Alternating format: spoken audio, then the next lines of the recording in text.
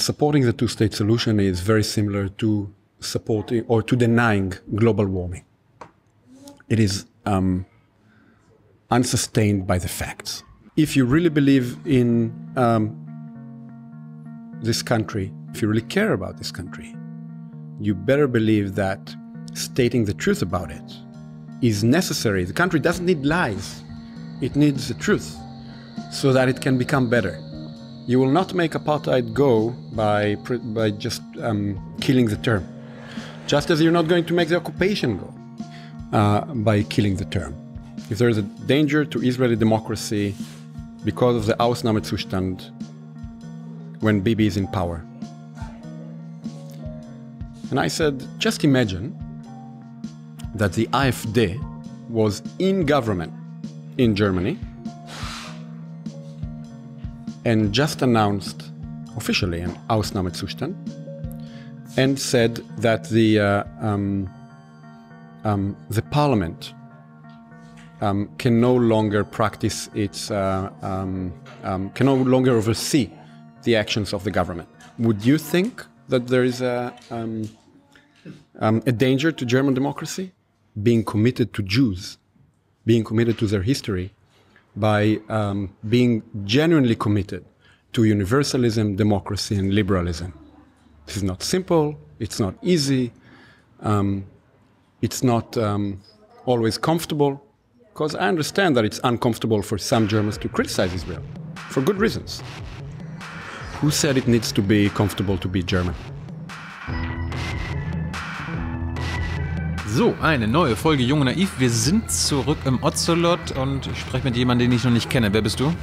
Omri Böhm, um, originally Israeli, um, teaching philosophy at the New School for Social Research for uh, 10 years now, um, writing on Kant, early modern philosophy, and sometimes about Israel.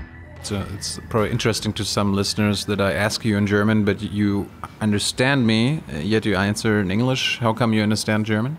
I didn't even notice that you asked me in German, interestingly enough. Um, I do speak German, but uh, for interviews of this length, I prefer to speak English to be on the safe side. Prinzipiell könnten wir das auch auf Deutsch machen. Aber ich denke, wir machen das auf Englisch. How come you speak German? Well, I have a German grandmother, also grand, a German grandfather, but um, whom I didn't know. Um, my German grandmother taught me to love the language, but she didn't teach me the language. Um, I learned the language later when I went to Yale, um, and I took German classes. Originally, yeah, originally in order to read Kant in German. Then I went to Heidelberg for a year, und in Heidelberg habe ich mein, Letz, mein Herz verloren. Und ähm, so habe ich auch Deutsch gelernt. Uh, where did you grow up? In Israel, in the Galilee, on a very small place, originally with 15 families, maybe not even, um, in the north part of the country, almost on the, on the border to Lebanon. We're talking about the early 80s. I then moved to Tel Aviv to study philosophy in Tel Aviv, and then I went to the US. Why did you want to study philosophy? Like, didn't didn't you have like a dream after you uh, finished with school? Like, did you want? Did you always want to become a philosopher, or did you have to go to the military? I did have to go to the military, and I did go to the military. And what happened is that when I was in the military, I wrote a short book. And the book was called The Binding of Isaac A Religion Model of Disobedience. You see, we're doing now promotion for a completely different book. And um, when I wrote this, it's a different long story, but when I wrote that book, I um, discovered a philosopher named Soren Kierkegaard who has famously wrote about the binding of Isaac as well. And I started reading Soren Kierkegaard and I got into philosophy. And very quickly I went from Kierkegaard, who's very different from Kant in so many ways. I, I discovered my love of Kant. Did you love going or being in the military? Like, did you have to go for three, Three years? years, three years. Was end of the 90s? It was the end of the 90s. After Oslo. It was after Oslo. Oslo was um, doing well back then. It collapsed really just when I was immediately after I was released. Be- so because of you, maybe. Yeah. Maybe because I left. I, mean. uh, I don't think so. Um, I cannot say that I loved going to the military, but I did not oppose it as much as I do today. Um, I was a good soldier, you can say easily. Um, always on the left, always a good liberal Zionist, like so many uh, Israelis. I don't know if you, I know that you've been to Israel and I know that you've spoken to many people. But um, there is a paradox there. Perhaps it's changing with the years. Often, um, the people who are on the left, the people who are the most critical of the situation, are also coming from the families that are also the most Zionist. So often you get those, this is more famous, say, um, the pilot's letter right? So the, uh, the letter of the people who went to the special forces, the letter of the people who were pilots, write letters opposing the occupation, opposing this or that campaign against the Palestinians or in Lebanon and so forth. I think I fit relatively well into this category of, um, at least I used to fit relatively well into this category of um, people who are definitely very critical of the occupation and of Israel but are still um, committed to their country and also went to the military and uh, did a very, what Israelis call a meaningful military service. What was um, your job? My job is not something that uh, people should discuss. Um, yeah. Like secret, secret service stuff? or Yes. Secret military stuff? Um, I think I can say so that much because it's already written in the book. Um, um, it was not in the military, it was in the um, uh, Secret Service. And um, that's also why I prefer not to discuss it. Did you ever have to use your gun? Have you ever been in touch with the occupied people in the Palestinian territories? Absolutely. How was that? That was unpleasant, and I think that the realization that you're doing great violence, violence in the well, violence is never abstract, but violence not in the sense of uh, drawing blood was very clear. Um, I did belong to a unit that, let's say, is um, operative, definitely. On the other hand, you don't have to use your gun. If you use your gun, this means that something went terribly wrong, mm -hmm. and that did not happen uh, in my time. But no doubt, I've done wrong things when I was in the military. I remember uh, we talked to Yehuda Shaul, like uh, from Breaking the Silence, and he talked about his time in Hebron. Uh, the, I think a few years later, after you went to the military, and he was like, 90% of his actions as a soldier, he's ashamed of. He, they were immoral. What about you? I'm not sure that I would put it in the same terms. Um, well, he did something else. Like he was on the ground in Hebron. I'm sure I've done things that are not that are at least as bad in, in many ways, but I think about it differently. Look, um, the fact.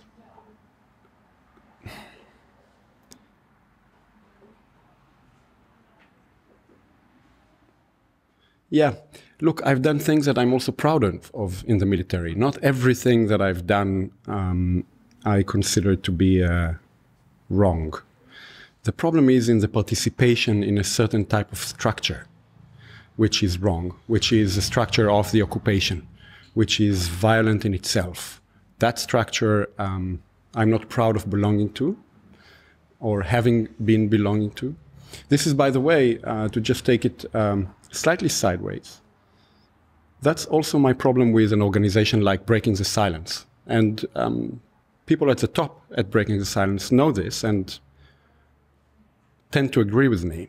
The problem is that breaking the silence often precisely like to play on the fact that they did the military service in order to be legitimate as uh, speakers, as people who speak against the occupation.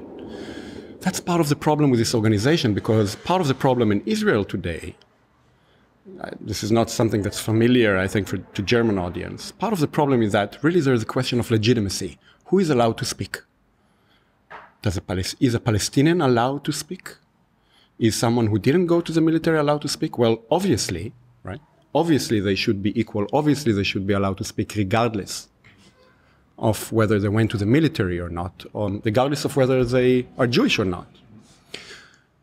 We should not reinforce the logic that we are allowed to speak because we went to the military. Breaking the silence does extraordinary work, very important because they tell Israelis about many things that they do not want to hear. On the other hand, they reinforce the logic of we were in the military, so we are allowed to speak. We speak as soldiers. Um, that's, uh, there's a catch there, there's a problem there. And I think my suspicion is um, I think I'm speaking. Uh, I have reasons to think that uh, people there often understand it, and that in a way, breaking the silence needs to become more radical. Um, more radical. More radical because they I mean, need. They are, they are, for ending the occupation. They should be for ending the occupation. People, sh they should be speaking not as former soldiers they should be speaking as citizens. It's extremely important. This is a big part of my book, by the way, to um, rehabilitate a certain um, ability, a certain concept of citizenship in Israel. Israel does not have a strong concept of citizenship. First, because it's such a militarized society.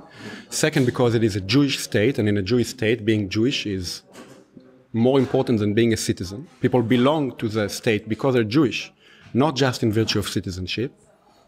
The first political task in Israel today is to rehabilitate a certain robust, proud concept of citizenship.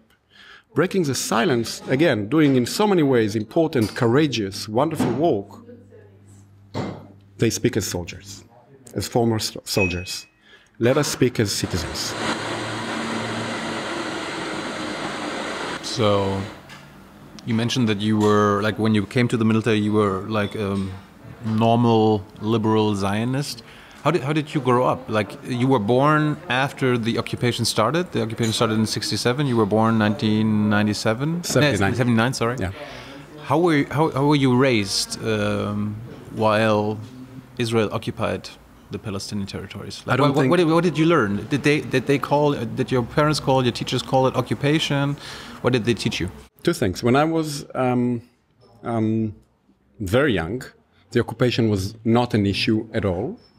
What was the issue was the first Lebanon War. My first memories, literally, I think, my first memories as a child, have to do with my father going and coming back from the first Lebanon War. We don't need to speak about my biography so much.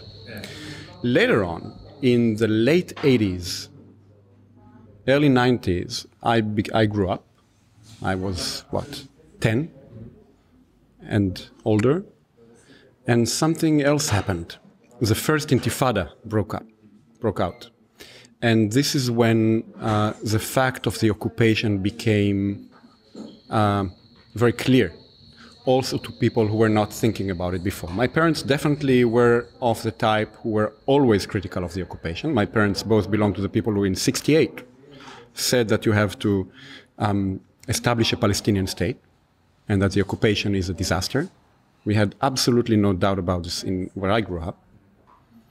However, as I said, extremely patriotic, extremely Zionist. My father is a captain in the uh, military in reserve.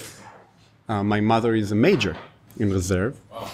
Um, people who are, you know, in the very conscious Zionist but on the left. Um, the occupation became an issue with the first intifada. Before that, I think that a lot of people believed in a crazy idea that's called the enlightened occupation. The enlightened occupation. They believed, you know, this is, I'm not big on colonialist and post colonialist language, but this is really colonialist language. They really believed that, in a way, um, the best things that happened to the Palestinians is that they will be um, ruled by Jews. Look, um, look at the Arab countries around us. Um, we have a prosperous, uh, democratic first world country. Um, true, they do not vote to parliament. True, they do not have their own um, um, national sovereignty and so forth. But it's even better for them to be controlled by Jews and not by, uh, say, Egypt uh, it's better for them to be repressed by the Israeli Secret Service and not by the Egyptian Mukhabarat. By the way, that later statement, I'm not sure is even completely false. It is possible that it's better to be interrogated by the Secret Service of Israel um, uh, than by uh, the Mukhabarat, um, say the Egyptian one. Um, I think it's not a, I mean, it's a very, it's the wrong type of competition who's worse there. But there was this conviction. The occupation is uh, good to the Palestinians. With the first Intifada, um, we started to discover that um, the Palestinians actually don't think so, and that they're willing to uh, um, to go to fight over it. Through that emerged, of course, the famous and now infamous two-state solution, because the Oslo process emerged from the first Intifada, and through those political discussions, with which I grew up as a teen, you know, in my teens, they were happening, 93 and so forth um, I came to think, to realize that there is an occupation that became the language. When, when, was the first time that you were in the occupied territories? Like as a soldier? Or did you like visit, were you allowed to go? You know, that's an interesting question. Um, because it, it shows us how it shows us how complicated facts are. I was in the occupied territory as a very young child already, and I'll tell you why. Because I went to the Wailing Wall, I went to East Jerusalem with my parents and my grandparents, probably when I was a baby, mm-hmm. definitely when I was four and five. Um, and to be sure, my family even goes back to those places. Um, half of my family um, um well, a quarter of my family is from the old city of Jerusalem, something that's very uncommon for Jews in the country. Uh, so, in a way, we're going back to a place that uh, my family has been in for decades.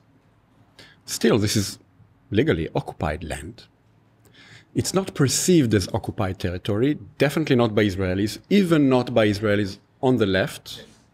And the international community is a little bit on the fence there when we speak about the occupied territories, we speak about Gaza back then, about Gaza, we speak about Hebron, the West Bank, and so forth. So the question is. Like they always forget about East Jerusalem. For example, uh, they, they forget about um, parts of the road to Jerusalem. Uh, part of it are on occupied territory. This is actually important because I suggest we remain clear on what's occupied territory in order to resist the um, tendency to legitimize the occupation we need to be clear on what's occupied and what's not. So to answer you directly, I was on occupied territory from when I was still a baby, probably. I was in what is perceived as occupied territory. When was the first time? I'm not sure. Certainly by the time I was a soldier, I was. Um, I don't think that I crossed the border much before my family was not the type that would have friends in settlements. Um, look, this is uh, those are personal issues, but I can say this: my wife, for example, um, uh, has large parts of her family who are proud. I think this can be said because they are proud settlers.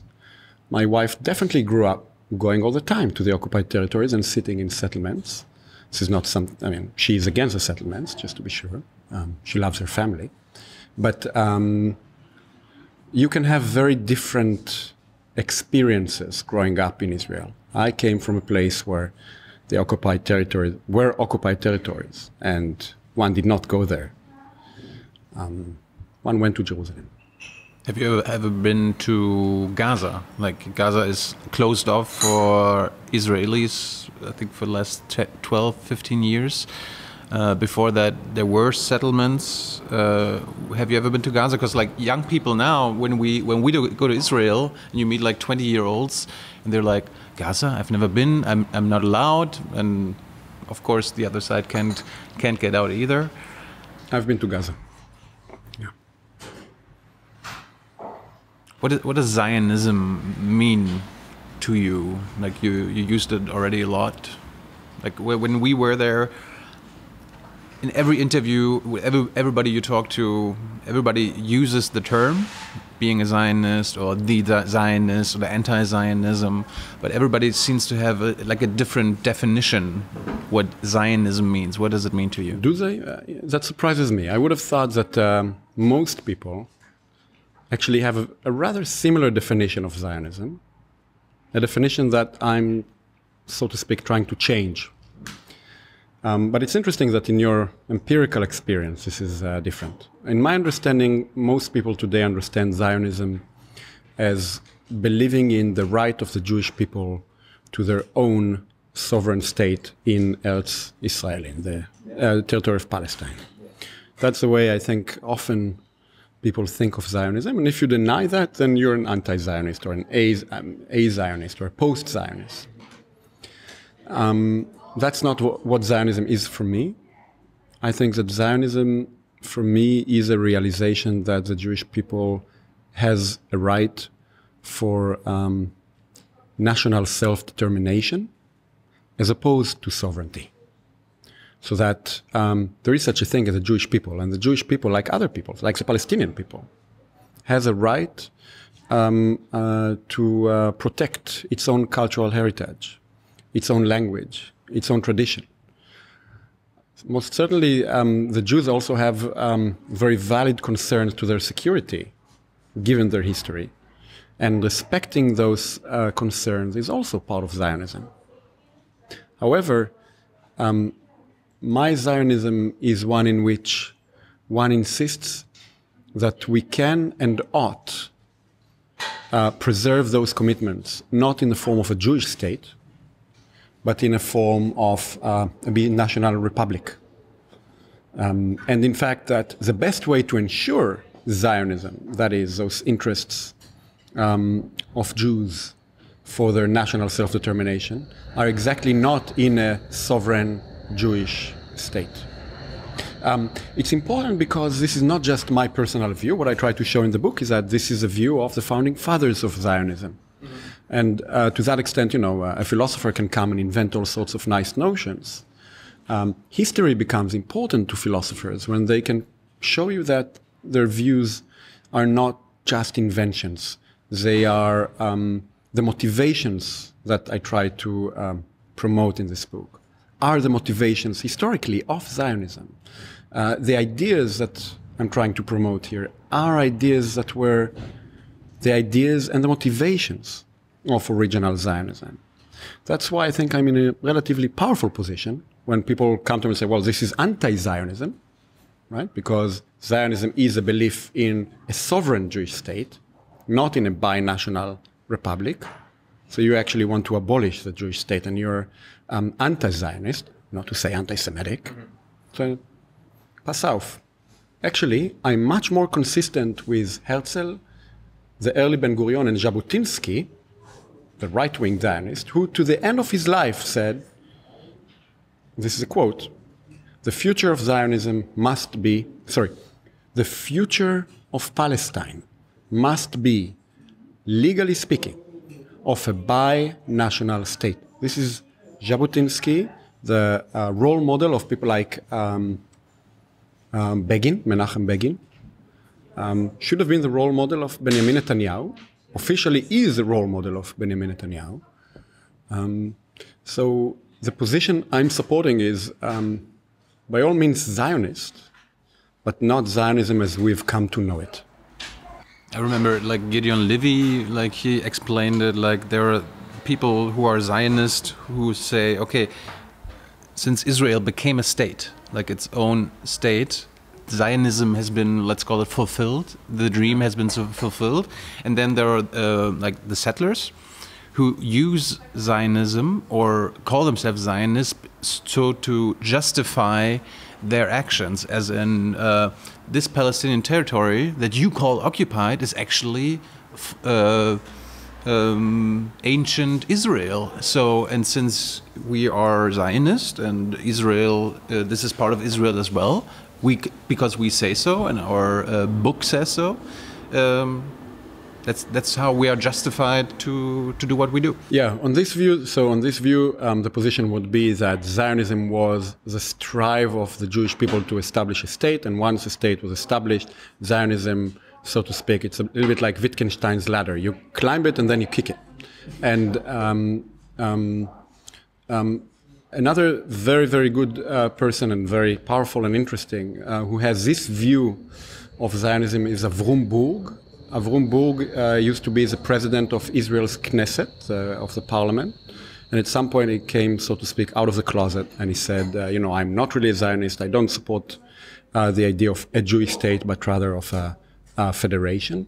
Um, and he also has a similar line there. He would say, Look, um, Zionism was an ideology that led to the establishment of a state. Once a state is established, we don't really um, need Zionism. Yeah. Um, on this view, you, then the settlers, just as he pointed out, would actually, on, in a way, they, they participate in the same type of argument. They say, well, maybe, but the project is not done yet. Exactly. We uh, still need to uh, take over the rest of uh, the territory, and this is why Zionism is still alive. I think both positions are false. I think that um, um, Zionism is um, the realization. I'm just repeating myself. Zionism is a realization that the Jews have a right to national self determination.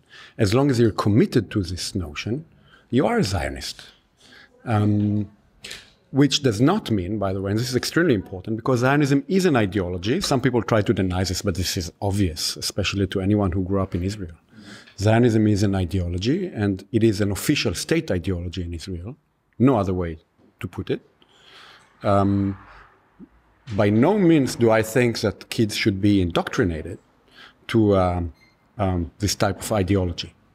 But it is a certain uh, set of values that um, I think does not go away when um, a state is established.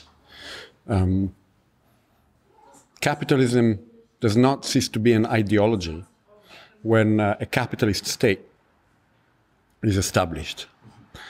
Zionism does not go away when a Jewish state is established.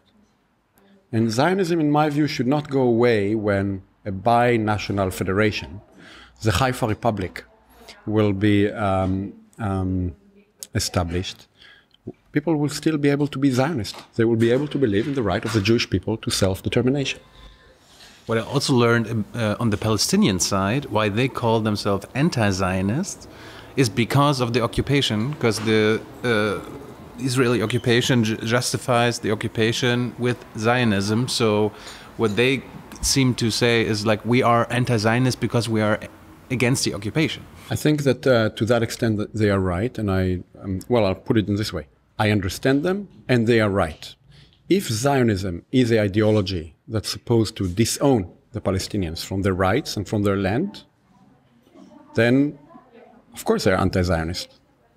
Can you be non-Zionist or? Anti- Wait a second. I just okay, because okay. I think this actually it goes much deeper.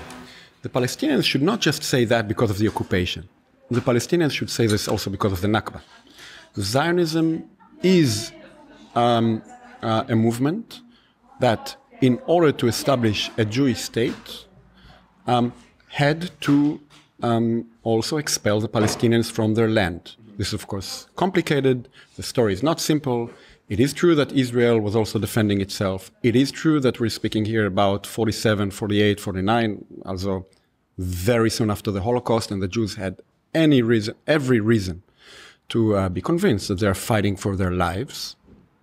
The story is not easy, but by all means, the Palestinians have a, um, um, not just a right, they, they are correct that to the extent that Zionism is a movement that um, consists in uh, expelling them from their land in order to create a Jewish majority and then to sustain the occupation, they need to be anti Zionist. Now, you can go then and become a Zionist, perhaps, if you want peace. My view is if you're an a Zionist, then you do not recognize the right of the Jews to um, self, national self determination. So we have here what Kantians call an antinomy. right? You have a contradiction between two claims that seem to be justified. On the one hand, you have the Palestinians, and the Palestinians say, well, look, we are against this movement, we're against Jewish, the Jewish state, we're against Zionism, because Zionism consists in um, expelling us from our land and the occupation.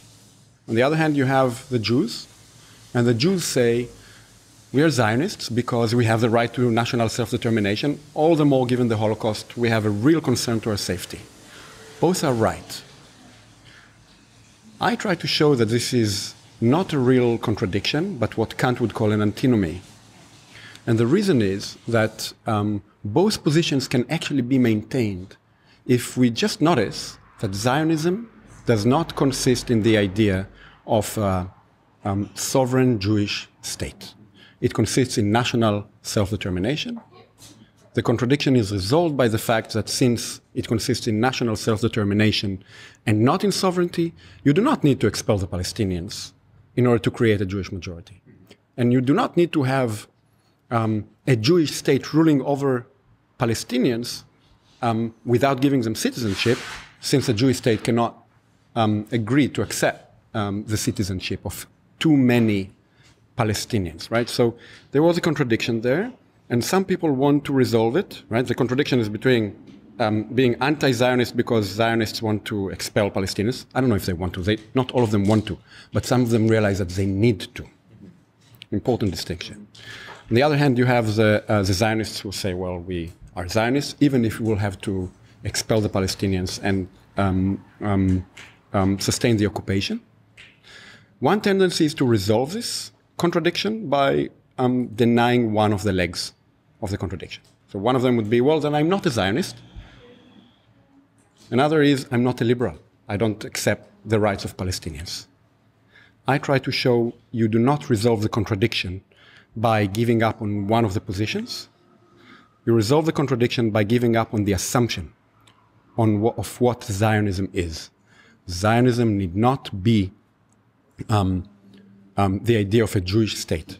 And for that reason, you can have a Zionist politics that's fully consistent with uh, the rights of Palestinians. And I will say also this I think that the wise Palestinians that I've met sort of understand this. And I will tell you why. They understand this because they too want to preserve their national rights as Palestinians. You can have a cosmopolitan position and say, look, we're all human beings, we're all citizens, we live in a, a post national uh, uh, reality, just forget about it. Okay, that will be truly utopian, right? Some people have complained against my book that it's utopian, that mm. um, the Haifa Republic is uh, um, um, unrealistic. The idea is that we, you can establish in this region just a post national uh, society where Jews don't care about the fact that they're Jews, Palestinians just don't care about the fact that they're Palestinians, that seems to me um, irrelevant politically. The Palestinians have a very legitimate aspiration to have national self determination. They are Palestinians. They need to recognize that the Jews too have this right and this concern. And both people can recognize this mutually. Jews can recognize the right of the Palestinians to Palestinian self determination, and the Palestinians can recognize um, the right of the Jews to national self determination. This is why I think that um, wise Palestinians would not go anti Zionist in that sense. They will go against the idea of a Jewish state, of course, because uh, they cannot be a part of a Jewish state and they live in the region. What about Germans? Do Germans need to be Zionists? Um, we, we, we, always obviously support the right of uh, Jewish people. Not, notice that when I spoke about I spoke about uh, wise Palestinians, and um, uh, by which I meant I don't want to say what the Palestinians have to be. I'm not sitting here.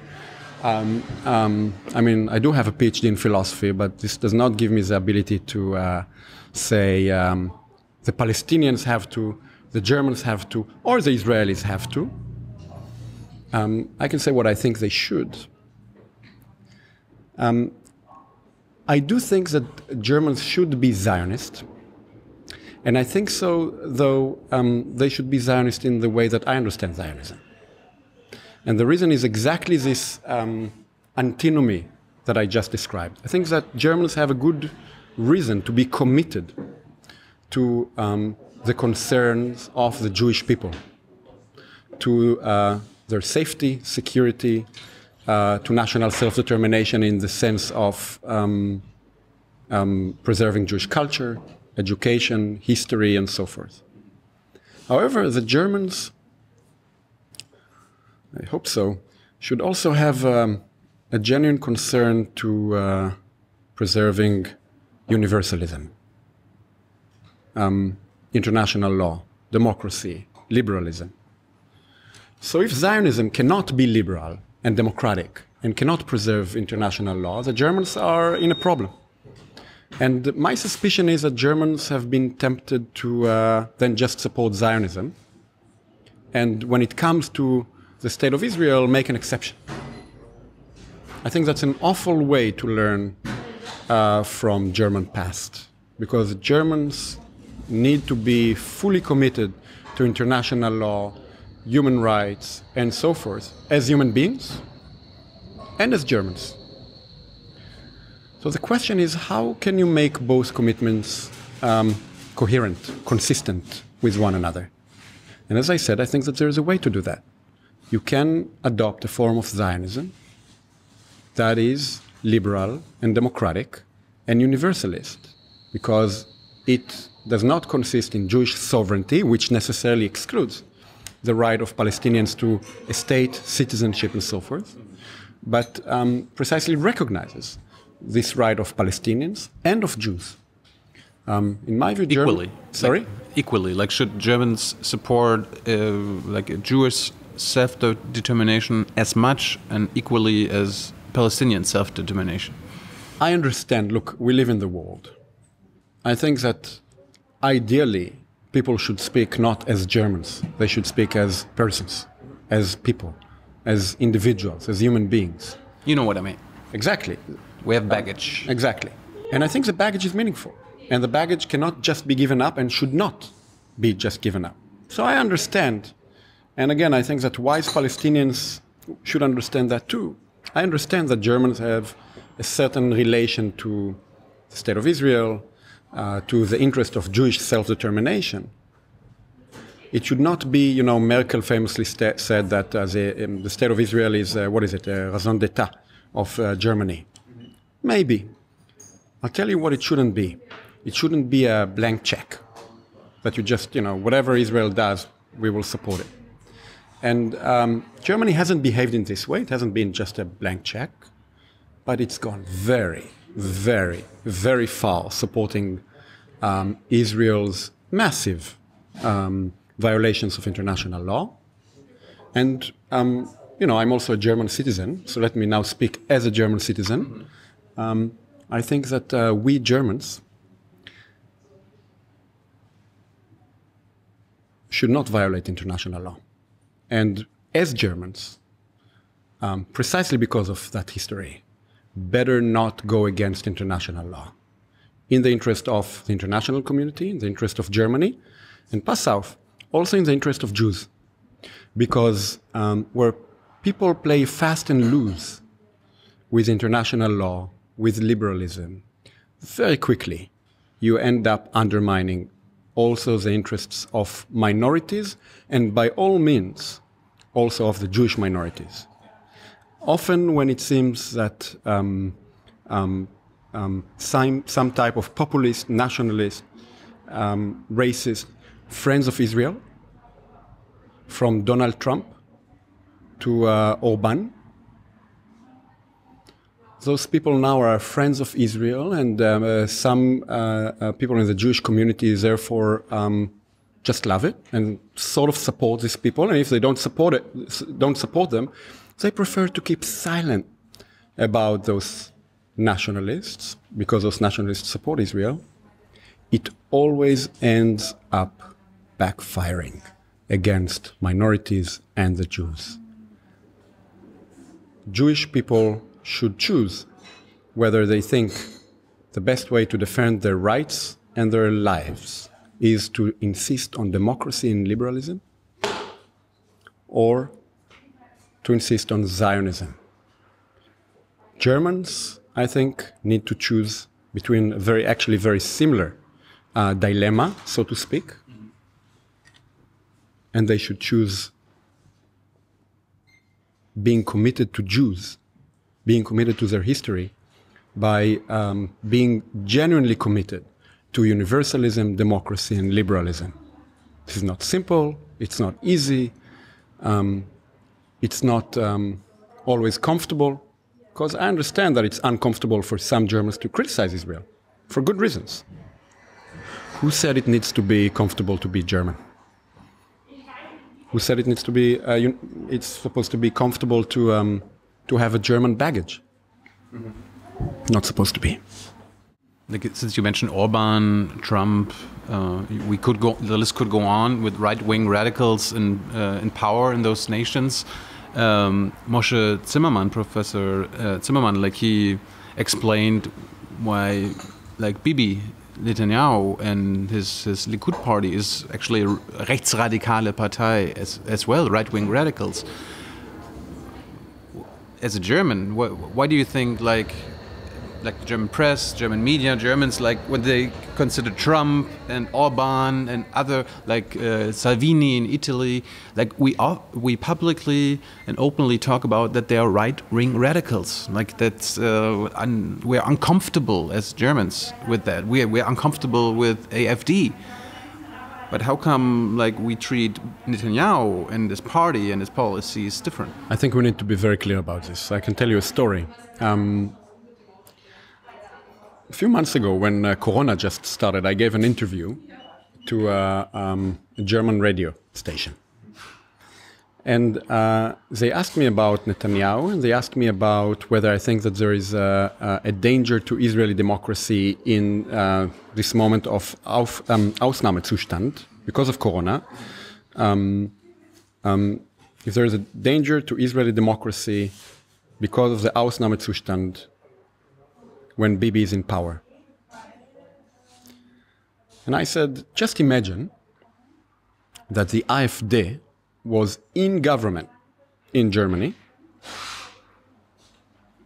and just announced officially an Ausnahmezustand and said that the, uh, um, um, the parliament um, can no longer practice its, uh, um, um, can no longer oversee the actions of the government. Would you think that there is a, um, um, a danger to German democracy?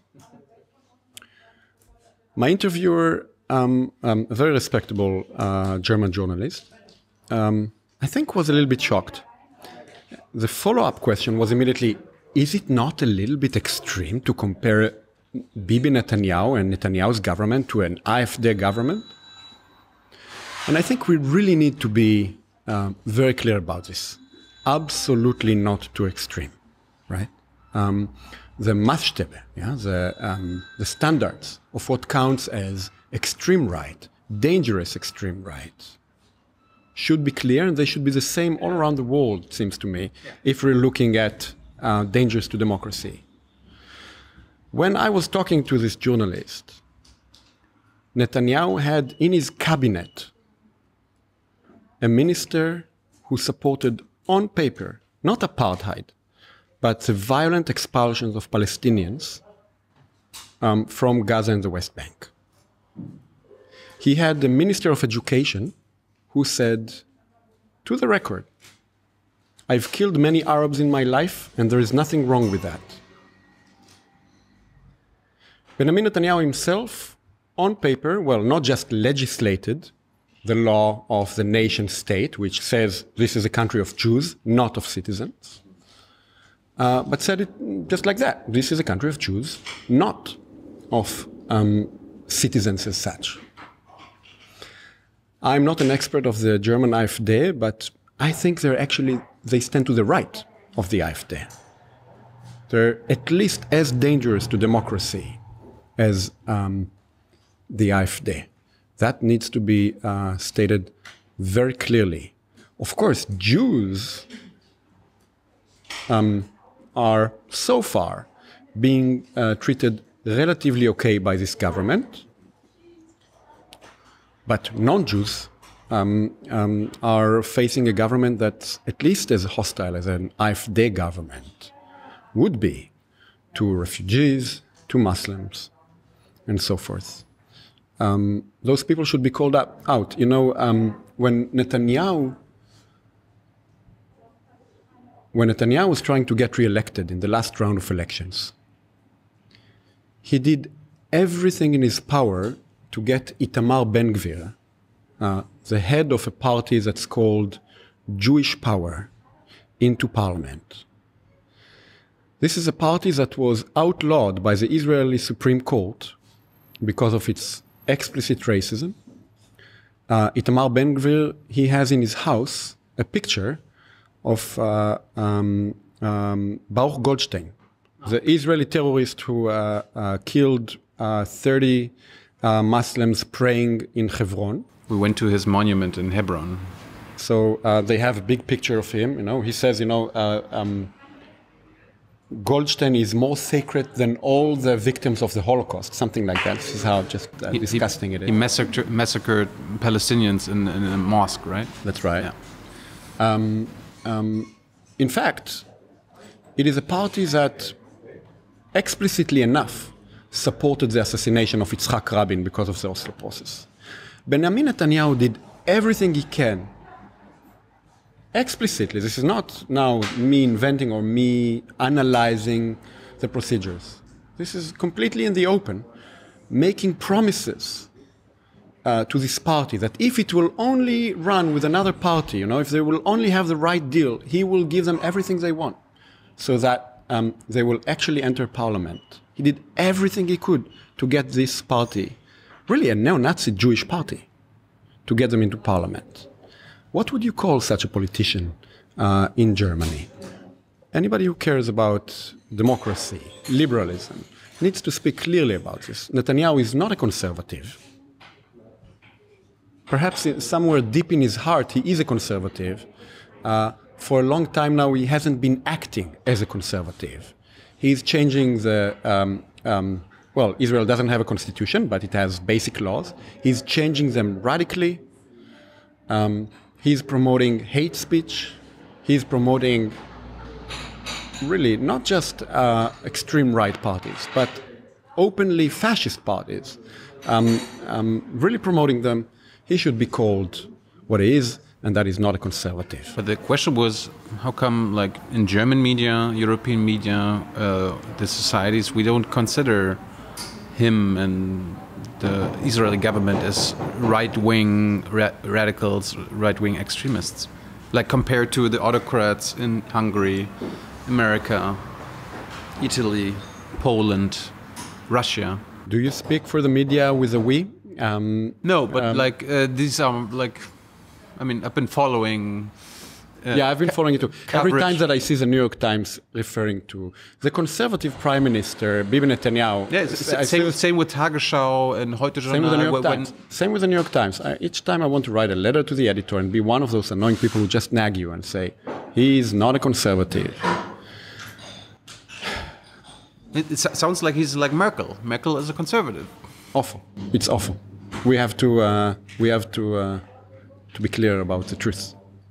One thought there was a moment when Trump got elected that um, people will insist on the truth, that uh, journalists will realize that they have a real uh, obligation to report the truth, and to some extent, to some extent, um, they also act this way.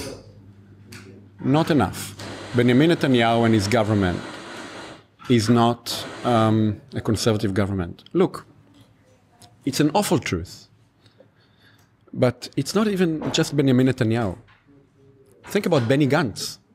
Up until recently, the uh, center and left opposition. People will think that I'm radical, but I'm not. Benny Gantz is probably near to the positions of the AfD.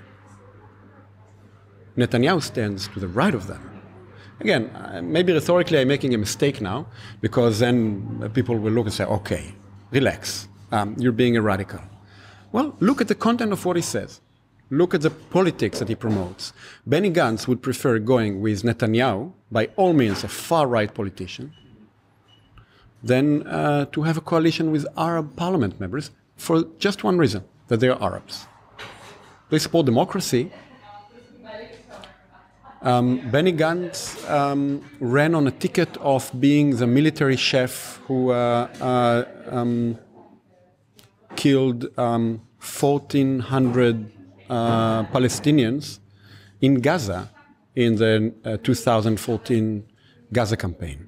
I saw the ad, TV ad. Um, he obviously uh, supported Trump's deal of the century and the annexations. Some Germans were um, surprised about that. I wasn't. Um, I never thought that uh, Gantz is a liberal or a two state supporter or anything like that. Think about Yair Lapid, the good looking. Um, the former Tel finance Avivian, minister? The former finance minister? That's right. Um, like he was a TV person. Exactly, that's yeah. the charitable way of putting it. I would have said the former uh, uh, uh, model and cheap talk show host. Uh-huh.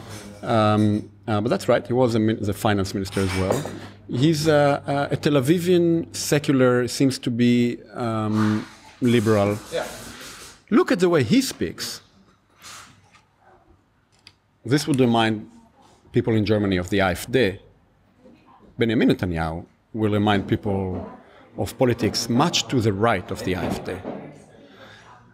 You said it. I mean, I think comparison. we need to be also careful with comparison, but but it is so extreme. But it is so extreme that we need to be clear. Um, but why? But, but the question was why is it so hard to be clear, like in Europe, in the U.S. It's difficult to be clear because of the past, and uh, it's necessary to be clear because of the past.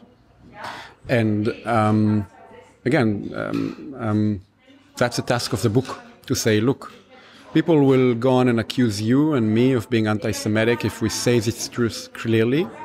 Actually, this truth is being stated in honor of the past. Having learned from the past, you need to point at Netanyahu and say how dangerous to democracy he is. You need to look at Yair Lapid, the hope of some people in the center here, maybe, and say, this cannot be your hope.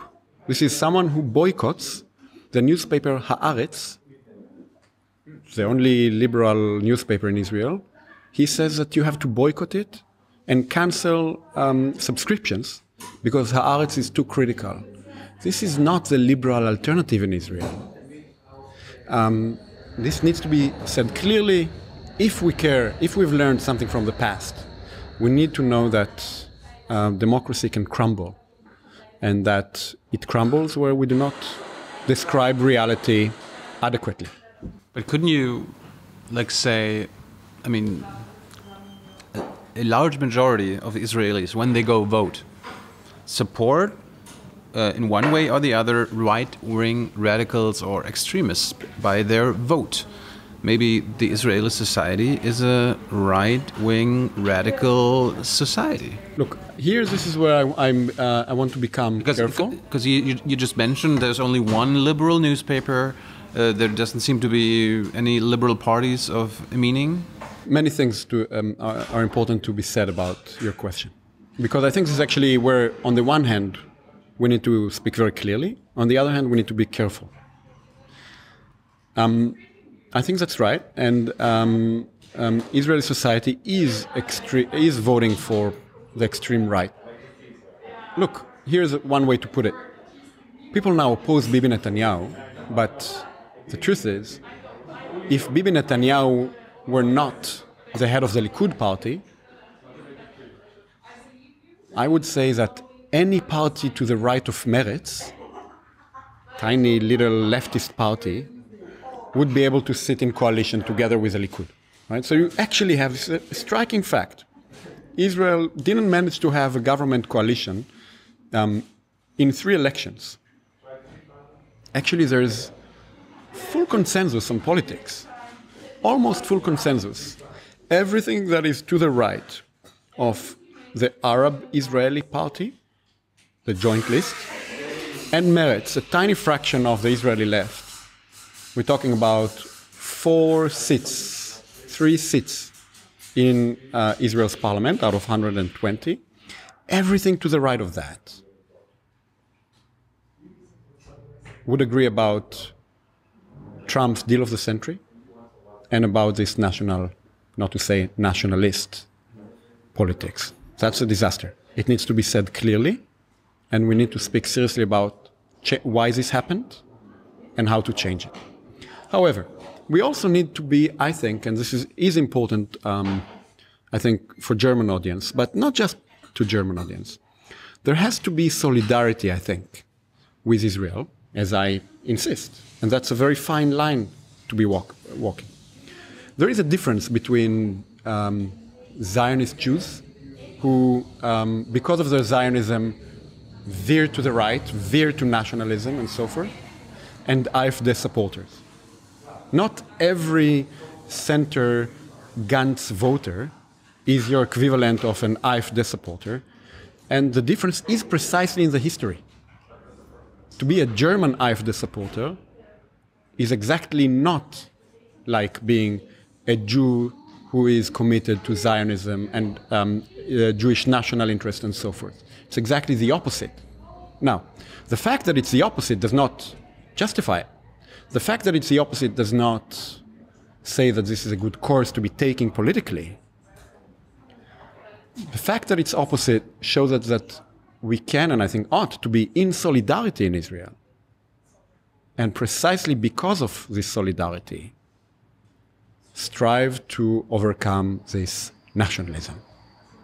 Um, so when the, um, um, you ask me this question, is Israeli society not just nationalist? So, well, yes and no. Hold your horses. Let's be careful with our rhetoric.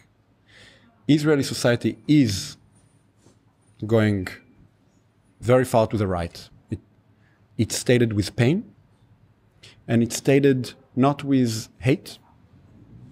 You know, if Germans go to the right, I don't want to speak unnicely to the camera, but they can go, you know, mm-hmm. they can go to hell. When Jews do this in Israel, I think we need to understand why and in solidarity hope to promote the alternative. For me, it's not in solidarity. I'm Jewish and Israeli. This is my country as a patriot. Maybe you in solidarity as a German. Um, um, and that's an important distinction. That's exactly where, at least me, my ears become sensitive when a German journalist, um, who, as far as I can see, whose work I admire, because he's clear, namely you, asks, so is not Israeli society extreme right nationalism? Yes, but careful, uh, because that's a moment when exactly instead of veering to uh, delegitimizing a certain society, we need to um, to see how to approach it politically um, with a lot of understanding. I would have added the contradiction that I experienced myself, or as we um, experienced it while being there a few times. The people there that you meet, that you uh, talk to, that you party with, they seem to be as liberal and European and Western as as as you can imagine. I mean, Tel Aviv is like uh, gay pride and um, anything that you know from from Berlin. Like Tel Aviv reminded me a lot of Berlin at at some point. I think not. And I think this is, I, I write about this a little bit in the book when I call my solution the Haifa Republic. Say not the Tel Aviv Republic. And there's a good reason to that. Tel Aviv is a wonderful city. I love it too. It has a great beach, it has great restaurants. Uh, people say beautiful women and men. I see all that. Um, however, Tel Aviv is a model of life in Israel, is a model of what life could be like if only secular, let's call it white Jews, could live among themselves it's an illusion to say, oh, Tel Aviv looks a, little, a lot like Berlin. Well, maybe. I didn't find the spot in Tel Aviv that looks like Kreuzberg, for example. Tel Aviv is a Jewish city. And uh, um, it's a vacuum in that sense. And li- liberal cities are not in a vacuum. New York is um, multinational. Berlin also is to a certain extent. Could be more, could be less. There are problems. Definitely more than Tel Aviv. Tel Aviv is a Jewish city. I don't know your history personally, but uh, you could not live in Tel Aviv in the long term because you're not Jewish. You will not get your citizenship. It's as easy as that. Um, this is why I suggest the um, Haifa Republic as a much more complex model of what it means to live not just Jews among themselves, but rather a mixed city, not as hype as Tel Aviv, perhaps, could be more hype than Tel Aviv if this great multicultural potential will actually be adopted. Because Tel Aviv, as wonderful as it is, really, it is wonderful, um, suffers from not being a genuinely multicultural city. And it will not be able to be, um, as Tel Aviv, a multicultural city. Because it's a Jewish city. Because it's the Hebrew Jewish city, a beautiful project. By the way, Tel Aviv, I don't know how many people know this. Herzl uh, wrote a book, the visionary of Zionism. It was called Alt Neuland. Yeah. Um, uh, uh, Old New Land. It was translated, this is the most important book. Well, yeah, well, the most important book, a utopian book, announcing Zionism. Um, do you know how the term Alt Neuland was translated into Hebrew? Tel Aviv. Really? Yeah, and that's the origin of the name. Um, well, again, it's a Hebrew city. It was thought of as a utopian city in that sense. We need to move on from that model. Um, the model cannot be just the model of Jews living among themselves. What about Haifa? Like, I'm sure many who listen to us have never been to Haifa. They've heard of Tel Aviv or even visited Tel Aviv or maybe Jerusalem. What about Haifa? Haifa is a, um, um, it's a good question. It's an important one because um, I need to, you know, I, I, speak about the Haifa Republic and um, I, uh, there's one form of criticism that hasn't been raised against me and I expected would be raised against me um, and would have been good criticism. It would also have a good answer. Uh, but it wasn't raised, so I didn't have the opportunity to answer. And it is this Haifa is not a utopia.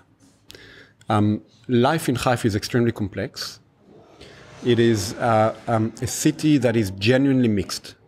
Arabs and Jews live more or less um, in the same city, not apart. And um, it more or less functions. Hospitals, you see this when you go to the hospital. You know, Jews don't meet Arabs before they go to the military in Israel, famously because there is real segregation. We don't go to the same schools. We don't, you know, we don't live in the same cities mostly. When you go to the hospital in Haifa, suddenly you lie side by side with Arab patients. The doctors are also Arabs, and many of them, and some of the best in the country. Some of the cafes in Haifa, some of the nicest cafes in Haifa, are Arab cafes. Um, you know, if you go in Haifa to the cafe that would pretend to be like Tel Aviv or like Berlin, you'll immediately be disappointed. It's not going to, it's going to be provincial.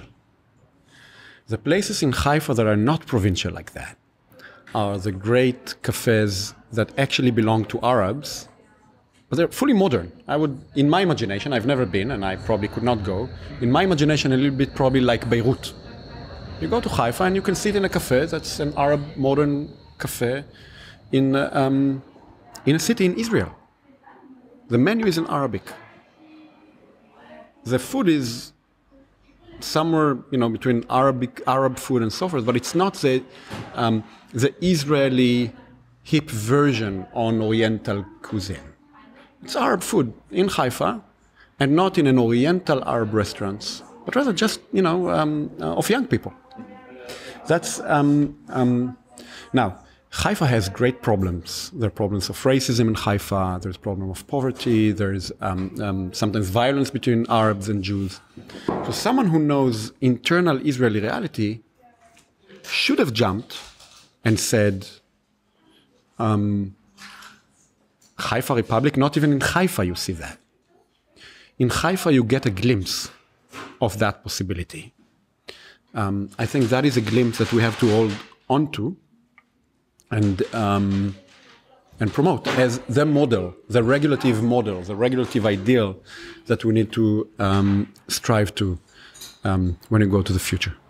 Kind of reminds me of Yehuda Shaul saying like Hebron is the perfect example for Israeli occupation in the West Bank, and you say Haifa is like perfect model of your idea of a binational state, a one state. I think that's right, and I think it's right for another reason. It's right because of the history. Haifa, most Jews uh, in Israel do not remember this. Haifa is the symbol of the Palestinian disaster in the Nakba because it is the city. You know, Israeli Jews usually hear about um, Deir Yassin, the big massacre that happened in Deir Yassin, a small village uh, where um, a horrifying massacre happened. Um, actually, Haifa is the big Palestinian trauma and the place that symbolizes to Palestinians the moment of the collapse of Palestinian society in the war. Because in more or less than 48 hours, almost, almost 100% of the city's Palestinian population just fled the city. Um, um, I don't want to give here uh, false numbers, but they are around the, you know, from a population of 70,000 back then, a robust population. Uh, over 48 hours, only 3,000 remain. Uh, Golda Meir, Israel's uh, prime minister, later on, went to Haifa just after um, um, uh, the expulsion and the massive escape from the city. She went to Haifa, and this is described in the book she left no doubt. She said, This is probably how Jewish shtetls uh, seemed like when Jews were escaping. Because you could still, she still saw, she was shocked because she still saw the, the coffee on the table and the pita bread on the table of people who escaped. She understood that people really had to escape. This is important to the notion of the Haifa Republic. This is important precisely because we have to be historical in our understanding of the future. When we, uh, um, it is a beautiful fact about Haifa, I think, that despite this history, it still is today a mixed Arab Jewish city. And there are practices of cohabitation in that city. Um, that's one fact of history. Another fact of history is that through the port of Haifa, many of the Jewish refugees who escaped uh, Europe managed to get smuggled into the country through Haifa. So Haifa, often overlooked, you know, everybody knows about Jerusalem. Uh, it's uh, um, um, the city of uh, Jewish and not just Jewish longing. Um, everybody knows about Tel Aviv. It's a city of uh, great uh, gay parties. People know less about Haifa. Um, Haifa is a model, not taken naively not ignoring the obvious problems with reality in Haifa today, um, can be an interesting, the interesting political model for the future. So you've, you've mentioned the Nakba a few times already. Um, I remember like after the first time being in Israel and Palestine, like we came back and like we were shocked that apparently we were never taught about uh, Nakba in Germany. Like I never heard about it at school. You can obviously and rightfully so escape the Holocaust and what G Germans did, but the Palestinians, the Palestinian side of their history of catastrophes, I've never heard before. So um, what I want to know, when you went to school in Israel, did your teachers, did you learn about Nakba? Of course not. Of course and not. Of course not. And um, obviously not. And they still do not learn in school about it. Really? Absolutely not. Um, people learn sometimes that um, Palestinians escaped. They were stupid cowards who, uh, by magic, just decided to escape. Of the way in which politically and systematically they were driven out, nobody speaks in Israeli textbooks. It's uh, um, an obvious black spot. Israel has a law. It's called the Nakba law. It um, um, under some circumstances, um, you can uh, be penalized for commemorating the Nakba under some circumstances. Um, so, uh, Jews in Israel waver between celebrating the expulsion and pretending that it didn't happen. Depending a little bit, there's real false consciousness there. Um, sometimes there is a tendency to say, yes, well, we had to do it and we did it. Ari Shavit, he was less famous in uh, this country. He was uh, one of the top bestsellers for weeks and weeks in the US for writing this book, uh, My Promised Land, with this main thesis. Yes, yes, we have to speak about the Nakba. We did, you know, so as I show in the book, for years, our best minds, our best intellectuals, did not speak about the Nakba. Forget the Ministry of Education. Forget the fact, forget the fact that um, you do not learn about it in school. What about Amos Oz? What about David Grossman? Uh, those people. They always made the occupation the um, original sin of Israel, this accident that just happened to us, and has to be corrected in order to return to the good old, good old Zionism. Yeah. Now, speaking about the Nakba doesn't fit this clean, nice narrative. So you don't find them writing about this. Um, Ari Shavit comes along, 2012, and says, no, no, we have to speak about the Nakba and affirm it. It did happen. And, you know, um, it had to happen. You either take, this is the argument of, the, of his book, you either take um, Zionism and understand that the Nakba is necessary and accept Zionism with a Nakba. Or you give up on Zionism because it had to do the Nakba. And says Ari Shavit, and so many liberal Zionists, we accept Zionism with the Nakba. Not even once was the reasonable, rational, progressive, modern relation to this attempted, namely to say, we are Zionists and the Nakba happened, and it ought not to have happened. And when we see, when we learn about this history, we do not either accept Zionism with the Nakba or um, reject Zionism because of the Nakba. We understand that Zionism must change. Yeah? Um, we have to understand why a certain concept of Zionism produced the Nakba, we must say so very clearly. We must teach this history, teach it to our kids, and understand that Zionism has to change such that it will not necessarily um, promote this type of politics that makes the Nakba possible. What does the Nakba mean to Arab Israelis, to Palestinians?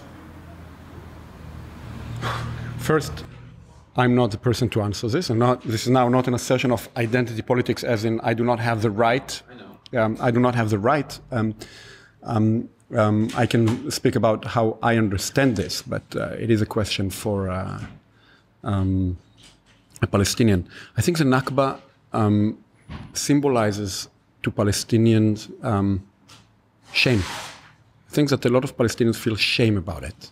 And this is because uh, it's a sign of their defeat. It's a great defeat. It's a moment in which they lost uh, their nationhood and their land. Um, so um, one thing is this great defeat.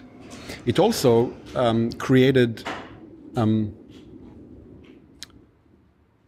a very difficult political uh, separation between the Palestinians who live inside Israel and those who live outside Israel. So, um, part of the embarrassment, part of the defeat, is in creating this split now between um, Arab Israelis and Palestinians, who no longer are, are they the same people? I mean, they are, by all means, I would say. But um, they have very different lives for a very long time now. And um, I think that, um, you know, there can be psychological, sociological, uh, anthropological meanings to the Nakba. Speaking as a philosopher, or as a political philosopher in this case, let's speak about the political meaning of the Nakba. I think that the political meaning of the Nakba, um, if you're interested in the future, is the fact that a, um, a, separation between Arab Israelis and Palestinians who are not living in Israel was created. And this separation has everything to do with the way we think about the future. Because um, in, in a binational reality, those Palestinians will again be part of the same unity um, and how they will go about this, how this can be created, what will be the meaning of that, is a very interesting fact. Um, also, here is an example. This is something we haven't spoken about, and perhaps we don't need to speak about. Um, in my imagination, the only hope we have for a solution politically goes through the power of the joint list in Israel. That is, um, a party of Arab Israeli representatives. We, like we have Ahmed, T- T- Ahmed Tibi, wonderful. I saw that you that yeah. you uh, um, that you uh, interviewed him. He's very important in my book. Mm -hmm. uh, I think he's a wonderful representative. Great interview, by the way. Watch it. He's he's terrific. And uh, he gave a, an important Holocaust memorial speech that in my chapter on the Holocaust and on the relation to uh, our past, I end with um, analyzing Ahmad Tibi's Holocaust memorial speech in Israel's Knesset because um, he tries to go exactly down that path of saying, look, we live together. I, as a Palestinian, I am in eternal solidarity with the Jewish people. Um, I understand the Holocaust. We have to commemorate it. Um, that's an important step in the creation of the Haifa Republic. Um, but um, yes, the Joint List is a, is a party of Arab Israeli representatives. And we have to draw on their power in order to promote um, an opposition where the country is now going because there's nothing left of the old liberal Zionist parties in Israel. But here's an interesting question Can the joint list also be, at first symbolically, perceived as the leadership or a leadership of the Palestinians in the occupied territories? Abbas is no good. Hamas is no good. What's the alternative? It would be an extremely interesting development if the joint list, by the way, joint also as in joint to Arabs and Jews in Israel, mm-hmm. well, it cannot just become the representative of the Palestinians, but a representative also function as um, also function in this capacity. Um, it's not easy because of this separation that I just mentioned between Arab Israeli society within Israel and Palestinian society outside of Israel, right? Um, if they can assume this role, then I think um, it's going to be a very interesting development um, on the way to an alternative solution in Israel, uh, alternative to the two-state solution.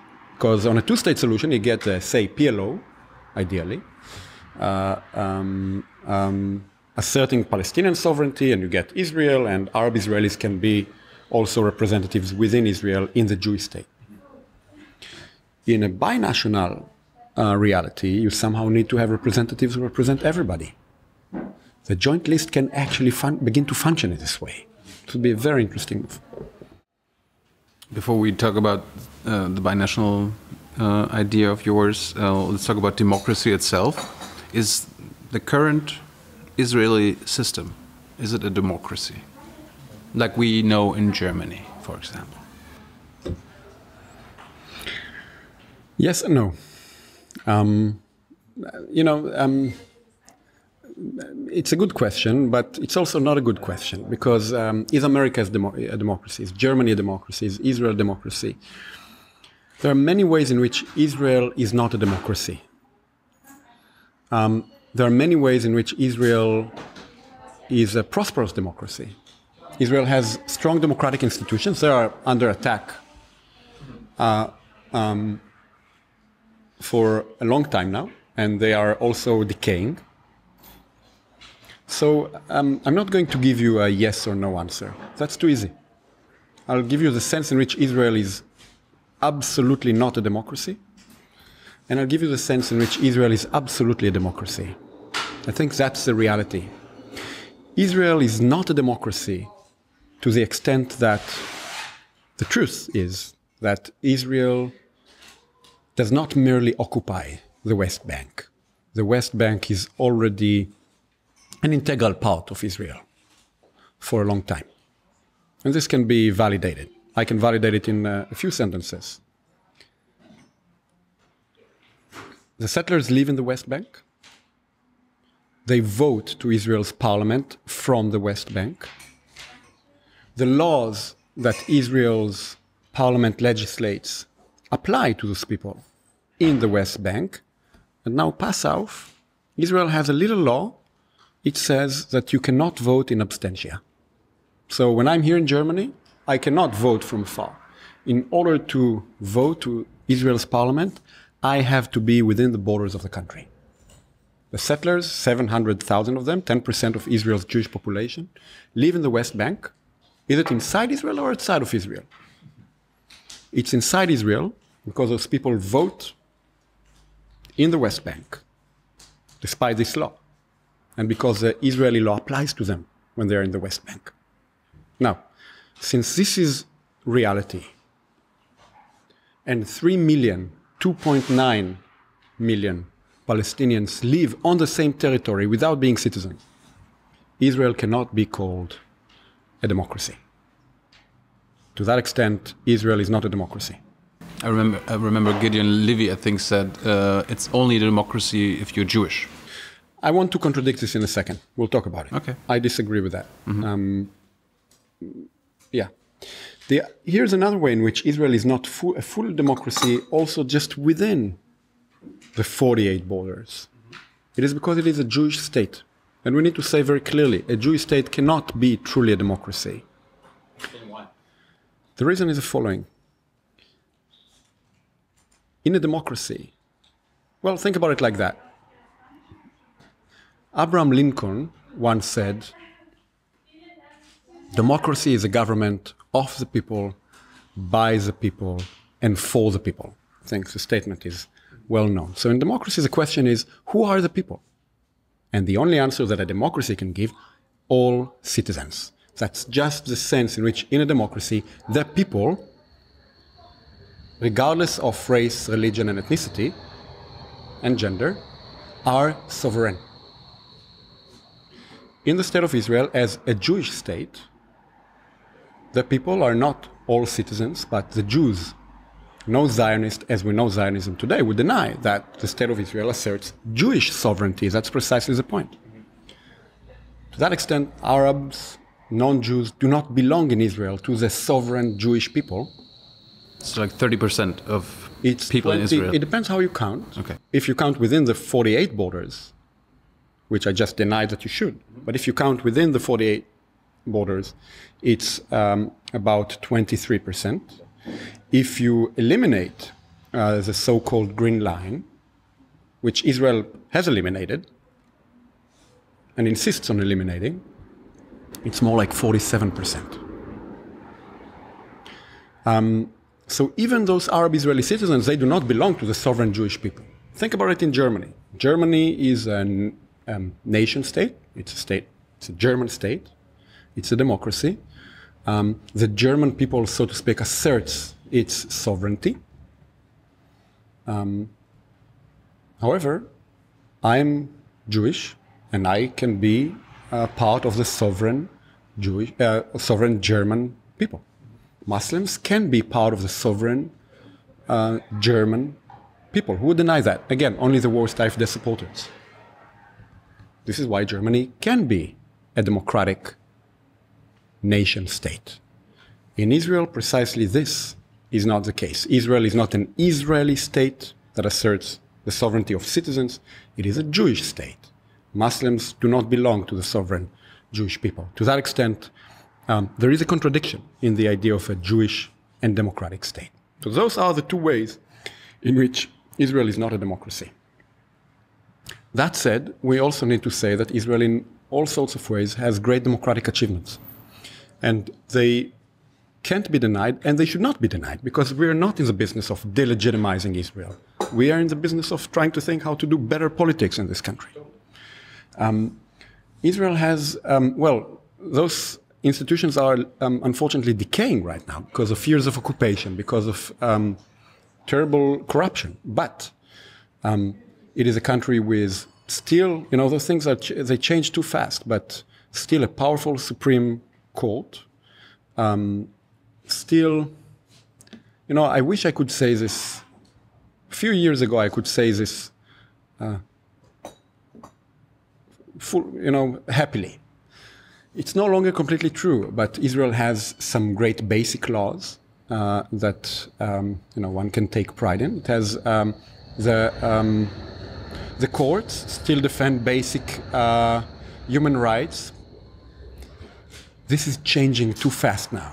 It used to be the case. I mean, it, you, you had heads of government who were corrupt, who were who went to jail. Exactly. Like so, we, like in German history so far, we had some corrupt, uh, probably some corrupt Bundeskanzlers and ministers. Nobody went to jail. I want to say this, and I, I don't want to be misunderstood, but it's even better than that. Better, yeah.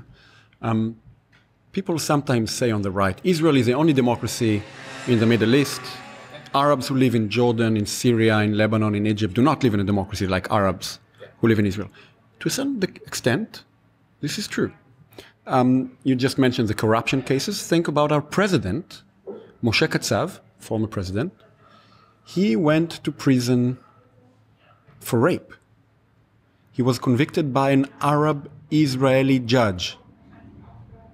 Can you imagine um, a Palestinian judge sending the king of Jordan to prison for rape? Of course not.